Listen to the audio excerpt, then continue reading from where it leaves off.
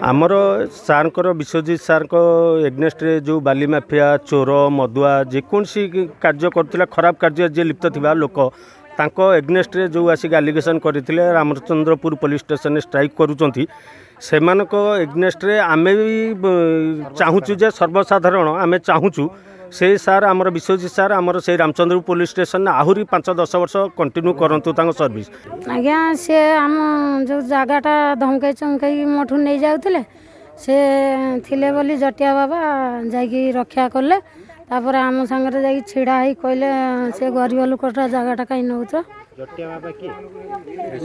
Biswajit sir. ଆଜ୍ଞା ସେଇଥିପାଇଁ ଆମେ କହୁଛୁ ଯେ ସେ ସାରା ଦିନ ପର୍ଯ୍ୟନ୍ତ ଏଇଠି ରହନ୍ତୁ। ନିଶ୍ଚିତ ଭାବେ ମୁଁ କହିବି ଯେ ଜଏନିଂ କଲା ପରେ ରାମଚନ୍ଦ୍ରପୁର ଥାନାରେ ବିଶ୍ୱଜିତ ବେହେରା ଜଏନ୍ କଲା ପରେ ଆଇନ ଶୃଙ୍ଖଳାର ବହୁତ ଉନ୍ନତି ଘଟିଛି। ଆଉ ସବୁ ପ୍ରକାର ବାଲି ମାଫିଆ ମାଫିଆ ମଦ ମାଫିଆ ମାନଙ୍କୁ ପୁରା ଦୃଢ଼ ହସ୍ତରେ ସେ ଦମନ କରିଛନ୍ତି।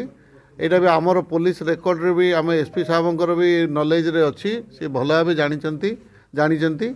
ଆଉ ବର୍ତ୍ତମାନ ପରିସ୍ଥିତିରେ ବିଶ୍ୱଜିତ ବେହେରାର ବଦଳିର କୌଣସି ସମ୍ଭାବନା ନାହିଁ।